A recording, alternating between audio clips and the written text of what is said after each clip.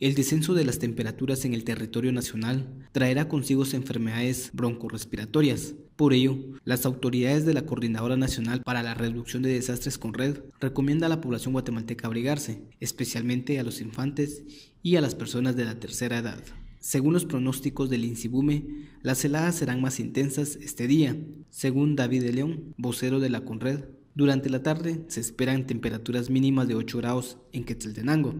9 en Cobán Alta Verapaz, y 11 en la capital y San Marcos. Este frente frío pues vamos a tener aún en los efectos en el territorio guatemalteco, quiere decir que la población tiene que abrigarse,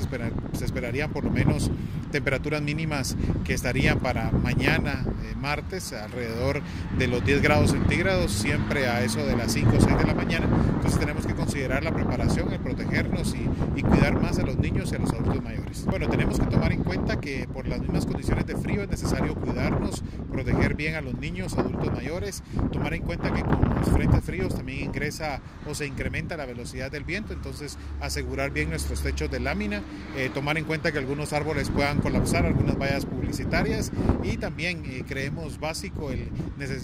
necesario que si padecen de alguna enfermedad broncorespiratoria acudan a los cuerpos, en este caso a los centros de salud o a un hospital para recibir la atención médica.